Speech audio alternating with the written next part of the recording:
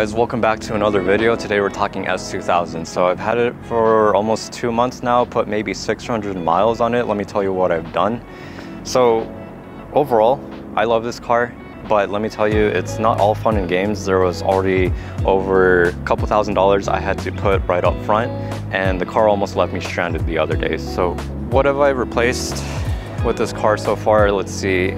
VVT solenoid, which is basically causing a leak on the engine block itself, a catalytic converter with O2 sensor, front brake pad and rotors, and then lastly, what did I do? Clutch fluid replacement. So let me explain this. When I went out driving with one of my friends, we went up to the mountains.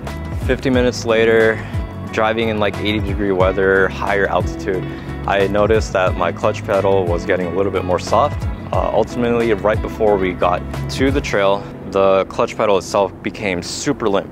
Like I was pressing it, there was no feel to it, and then ultimately it just stuck completely onto the ground. So I knew I had this happen to me before.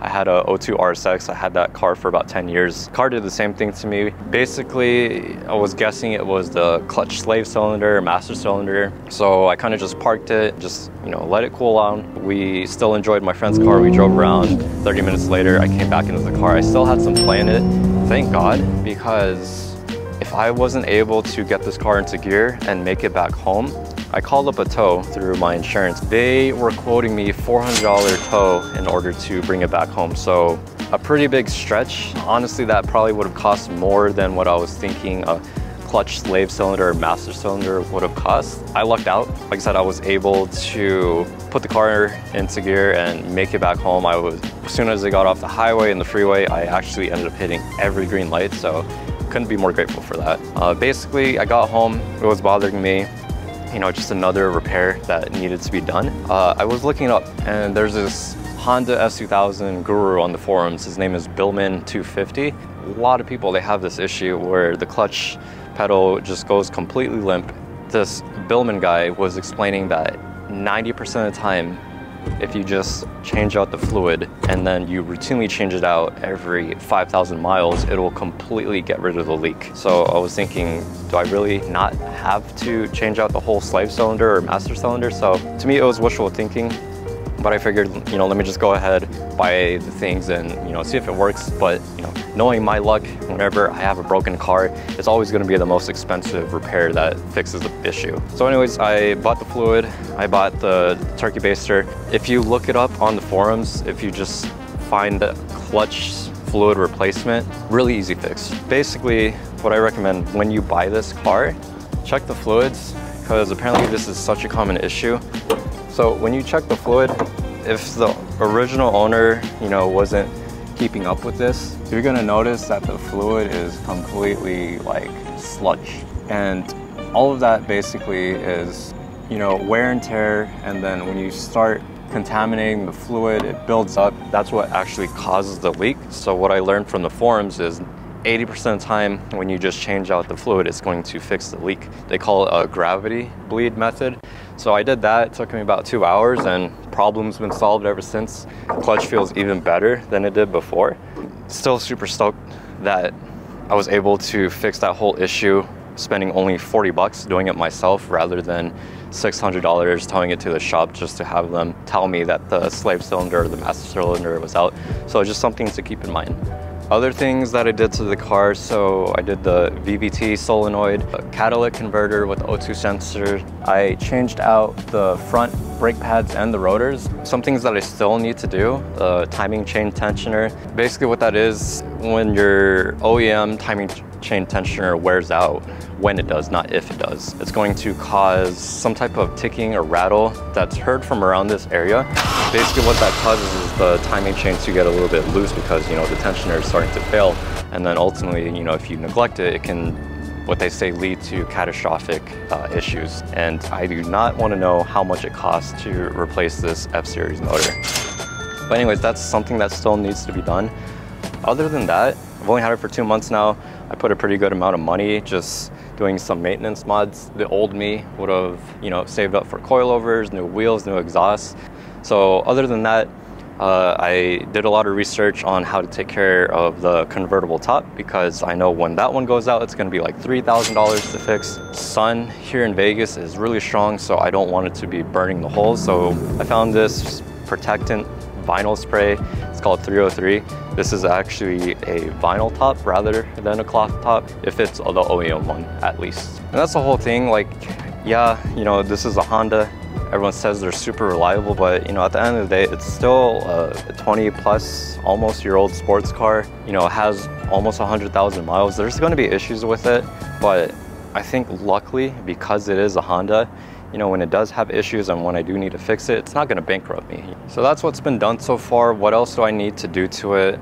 Um, so the timing chain tensioner that's on the list, uh, suspension is a little bit tired, it's very crashy and it's kind of on its way out. I would like to, you know, replace all four and refresh the bushings as well. Uh, it's still on original clutch, so we'll see how long that lasts. The seats here, they need some refresh as well.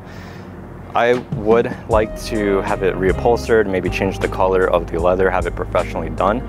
Um, but right now that's probably like way later down the list. Another thing too, this paint, you know, original paint, I'm very happy with that. There's no micro scratches. The guy who owned this before, pretty sure he did everything hand wash. But a few weeks ago, I was driving, enjoying myself, and it was windy. I saw this metal sheet on the floor. I thought it was aluminum and it was right when I approached it, the sheet basically flew up and smacked the front of my car and then tumbled all the way back.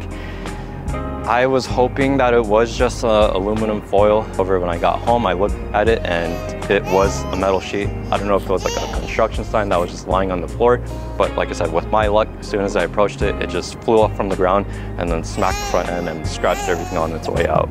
Luckily, it didn't smack me in the face. So that's the list. Suspension, timing chain tensioners, seats, paint, at least for now. You know, that's the whole thing with having an older sports car or project car is the list can keep growing. You know, the older me probably would have saved up for coilovers, exhausts, headers, different wheels, but when something did go wrong, you know, it being an older sports car, I probably wouldn't have been able to come up with those costs. So this is what it's like to eat your vegetables. Another thing I forgot to mention too, these wheels, have, I don't know what it is, brake dust, but it's basically caked onto it. It looks disgusting. I would like to get this refinished. Uh, headlights are starting to get a little bit faded. I would like this restored and then put some PPF on it so that way it saves itself from the Vegas sun. So yeah, right off the bat, the car cost me money. If I didn't love this thing as much as I do, I probably would have sold it by now. Let's just see how many strikes that I give this car. But yeah, as of now, two months of owning this thing, this is still one of my favorite cars. I don't want to get rid of it unless it's to get another one or if this engine explodes. And that's something that you have to think about when you buy a sports car like this is, you know, what do you value the most? You know, is it the deal of the car? Is it the looks, the performance, the sound, the nostalgia and the sentiment? Is it the 0 to 60? Is it the clout? To me, it's more so the sentiment with this car. You know, like I explained in previous videos, this is something that I've always been dreaming of owning way back since high school. So it's just really cool to be able to experience this and live with it at, you know, relatively an early stage of my life. And I know there's definitely more capable, better value sports cars out there. Like for example, the ND2, ND3 Miata is way more capable in every way compared to this. And you know, it's more comfortable. You have a warranty with it. It's definitely more reliable. You have CarPlay, more livable livable essentially. But for me, it's just not something that I ever dreamed of owning. You know, no offense to the Miata community. You know, I love those cars. I love what Mazda is doing. But me personally, I've never dreamt of owning a Miata. It made the most sense to get that car over this, but this is just something that I've always been wanting since I was younger. And it's just really cool to, you know, kind of live out my high school dreams at 30 years old. And then also too, this thing just looks cool as hell. Like I still get compliments from it. It surprises me that you know, the kids riding their bikes in my neighborhood, they give it a compliment that tells you how timeless this design is. Whenever I pull up to a gas station, people say something. Neighbors walking around, they're asking if it's a Miata. They said that they had something similar to it in the past. Whenever I'm driving around, bikers will give me nods or thumbs up. So to me, what I like with this car too is the looks, the appreciation comes from like actual genuine car people.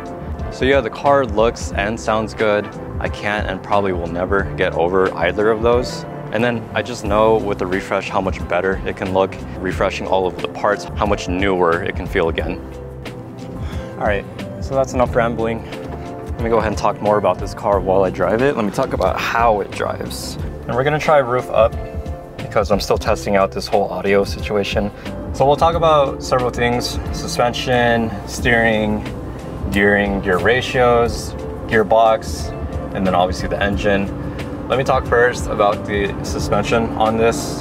So I'm learning a little bit more about this car as you know I still watch reviews on it. It has double wishbone suspension through all four corners.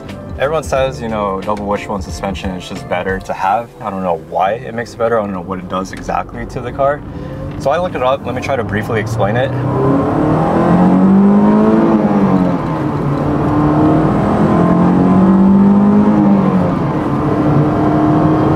Benefit of having a double wishbone suspension is basically when you're putting more load onto the corner, so basically when you're turning hard, when you're cornering hard, it adds negative camber to the wheel itself apparently, thus causing more tire contact to the surface and therefore better handling. So I don't know if that's right, that's just what I briefly looked up. Let me know in the comments. And then with it essentially being a front mid-engine car, I know you're not supposed to call it front mid-engine, they call it like a midship platform. Basically, this is it brings the engine block behind the front axles. The benefit of that is imagine you have an empty shopping cart and you know next time you go grocery shopping, grab a case of water and then just put it all the way to the far edge or the front end of the shopping cart and then just try to turn it in and see how much more effort it requires and then bring that case of water closer to you and then just try turning it and see how much more easier it is to you know turn that cart. That's essentially what it's like driving with this car you know you have all this weight pushed as close to you as much as possible without being a true mid-engine or rear engine car the turn-in is just so much more responsive doesn't take much effort to steer the car, to point the car, and you know, with it also being a lightweight car, very low and planted, the handling and the suspension of this car is actually as good as good as everyone makes it out to be. And then mind you, I mean, you know, I'm still on OEM suspension. You know, like I said earlier, I would like to refresh it and I'm just imagining how much better, how much better it could feel. I know maybe I could do coilovers, but I remember when the owner was telling me why he never put coilovers on the car. It says it meshes with the geometry of the differential and therefore eventually, you know, puts further stress onto it. And then the gearbox. Gearbox is really good. You know, it. This is what I learned. It does take some time to warm it up I think after the first 20 shifts, it's buttery smooth, very tactile feeling, short throws, nice weight to it. But when you first start it, when you're shifting through gears, it's very crunchy. It feels like you're grinding every time you go into a gear. It, sound, it feels like you're damaging the synchros. But I've learned from everyone in the comments and forums, it's very common with the uh, S2000. And then let's talk about the gear ratios. So first gear brings you, I think, to 28 or 32 miles an hour. Second gear brings you low 50s and then when you're top of third gear you're in the low 70s so you can really ring out the engine in this car without going gel speeds. I keep mentioning that and to me that's probably one of my favorite parts about this car. Let me show you right now.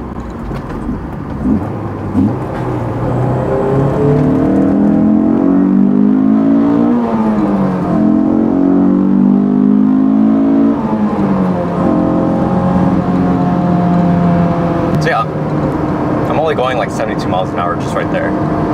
And the fact that you can do that in 90% of your driving scenarios versus you have some crazy supercar like a 911 or a Cayman, you know, top of second gear, you're already at like 80 miles an hour probably. What I notice a lot about this car, and everyone else talks about it too, is just the sensation of speed that this car brings you.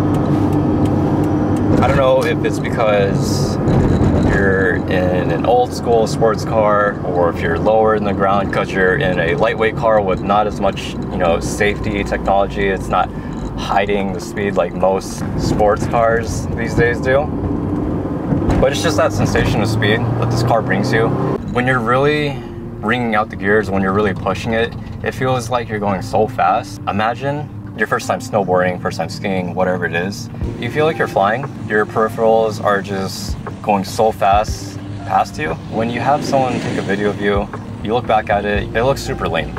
You know, you're only going like five, maybe 10 miles an hour, not going that fast as you thought you were. That's kind of how it is with this car. You know, it feels like you're going so much faster than you actually are. And there's nothing wrong with that. Yeah, it's a slow sports car compared to, you know, more modern sports cars these days, but if it feels like you're going super fast and you're having a lot of fun and there's a lot of drama to it, there's nothing wrong with that. And that brings me on to kind of my next rant about fun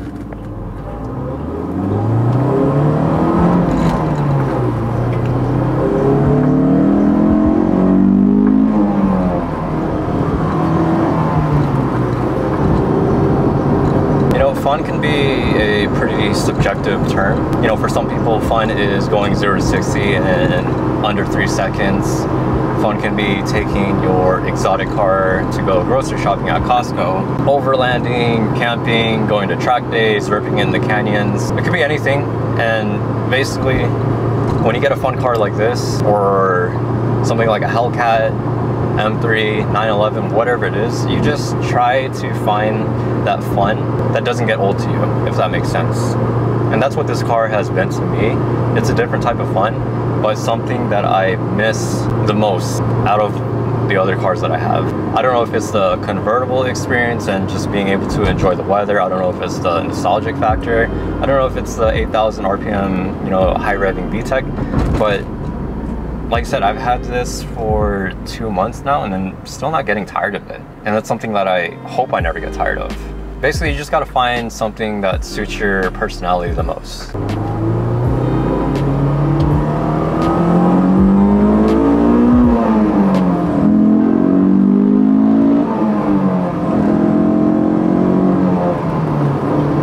You already know how good it sounds. Even from outside, it sounds like you're at a racetrack when you hear someone driving your car. And it's just something that I probably will never get tired of and something that you don't get in most modern, affordable sports cars these days. You probably could experience it in something, but you have to spend like over a $100,000 just to get that. You know, you have Civic Type R, STI, Golf R, everything with a you know OEM exhaust doesn't sound as exciting, not compared to this at least. But I mean, you do have Mustangs, Camaros, Challengers, any like modern American car these days. Those ones sound really good. I have to give it to them. So had this for two months now. What do I use this car for? Definitely not driving it to work, but it's more like the ultimate weekend car for me and just finding any type of excuse to drive it. You know, it could be me and my wife were getting ready for bed and then just randomly I asked her if she wants to go for a drive just to grab some snacks just for the sake of it. Driving it to the park, bringing my son to the park just cause, bringing my dog to the dog park, or just driving out around this time of the day when the sun's coming down, you're not burning and just enjoying, you know, the drop top experience. This car is just like a straight up toy for me.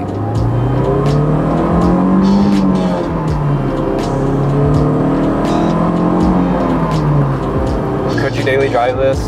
Or could I daily drive this? Absolutely not. It's cramped in here, loud when you have the top up. When you bring it down, it's more, you know, not as bad, but also if you're driving around in a convertible, broad daylight in Vegas summer and you're burning in there, I wouldn't recommend that. You get really sweaty, you get tired after 10 minutes.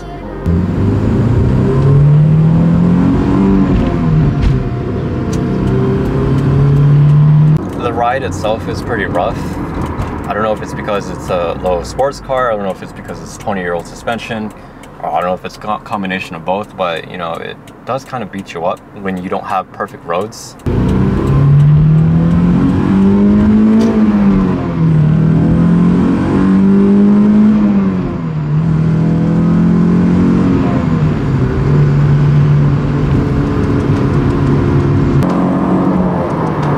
This is the NVH on the freeway going 70 miles an hour.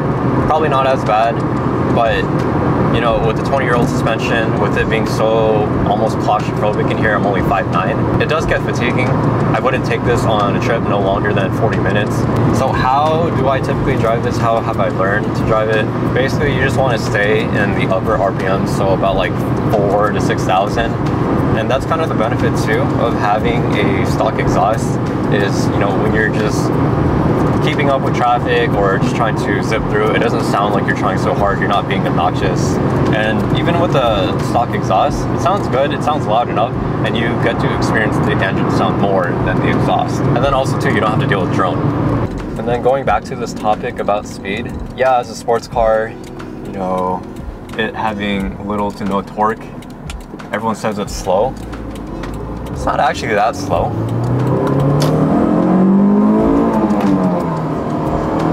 At least when you put a lot of effort into it. But even then, once you get it going, once you're staying in the mid-range, you're still zipping through a lot of traffic. It's still faster than most cars out there. So it's not completely like an old Honda Civic. You know, this car makes what 240 horsepower, 170 pound-feet of torque. It's not terrible. Super lightweight, very nimble. It doesn't have as much, you know, safety regulations. So going back to it, you feel like you're going a lot faster than you are. It's still not as slow as everyone makes it seem. So Two months later, 700 miles. What's my conclusion with this car? Honestly, for me, it's the experience of owning your high school dream car. You know, that nostalgia factor, being able to kind of curate your playlist that you listened to back in the day and then play it as you're driving around without any direction in this car. That's where I find myself enjoying it the most. You know, everyone says I should be taking it to the track, driving it in the canyons or the back roads. I'm pretty sure I'm gonna do that eventually, but I still just got this car, if you think about it. It has almost 100,000 miles. I don't know what's on its way out. And the car already left me stranded, so I'm still I'm still learning for this car. And then once I feel confident with it, once I trust it, once I feel like I got everything dialed in, then I'll come back to the thought of, you know, bringing to the track, the canyons, the back road, things like that. But right now, it's just more so experiencing the car, just driving it randomly to the gas station to grab snacks or, you know, bugging my wife to come out with me and enjoy the weather.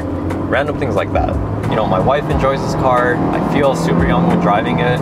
I feel like I'm living my high school dream and, you know, nothing is wrong with feeling young. I feel like that's so underrated. Not saying that I'm super old. I'm only 30, I'm turning 31 and the older you get, you get into your career, you get married, you start building a family, your responsibilities start piling up. The bills start getting more expensive. There's more obstacles that you have to go through the older you get.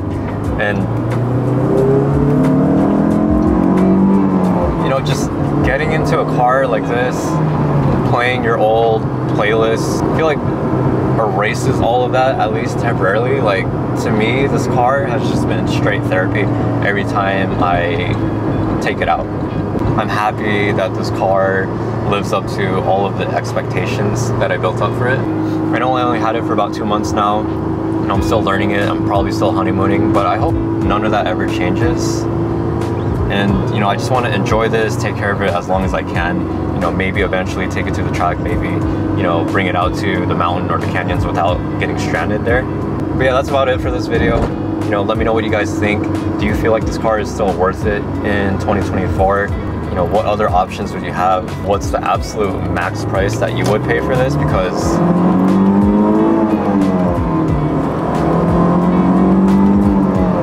because the prices on these things are kind of skyrocketing. It's kind of absurd. 20 to 30 grand for a for a 20 year old sports car. Or I don't know, maybe that's just like the old Japanese sports car tax.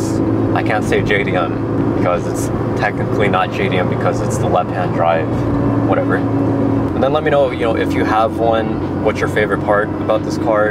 If you sold one in the past, do you ever plan on getting back into this platform? Anyways, hope you guys enjoyed this video. Hope you guys learned something keep chasing your dream cars. And as always, take care and be safe out there. Thank you. Bye.